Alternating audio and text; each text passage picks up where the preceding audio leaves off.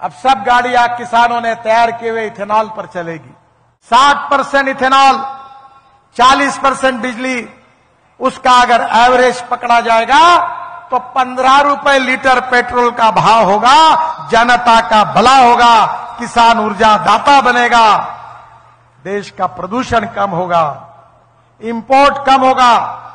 16 लाख करोड़ रुपए का इंपोर्ट है उसके बजाय यह पैसा किसानों के घर में जाएगा, गाँव समृद्ध संपन्न बनेंगे, गाँव के किसान के बेटों को रोज़गार मिलेगा, और इस देश का किसान केवल अन्नदाता नहीं ऊर्जा दाता बनेगा।